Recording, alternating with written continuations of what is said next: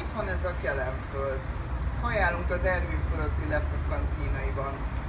Aztán a szemközti park panel háttérrel. Semmi különös. Lehetnénk akárhol. Csak hozzáérek és szétfröccsen a park, szétmálanak a blokkok, szubog minden a tudat lefújójába, ketten szólítjuk egymást egy örvénylő halucináció néma középpontjában, szellőserezdül, szinte tárgyilagosan állapítom most az, pontosan ilyen, élesek a vonalak, mintha Photoshopban rajzolták volna, pixelről pixelre látom az egészet, minden más egy posztott buszra pakolva zuhan el a semmibe.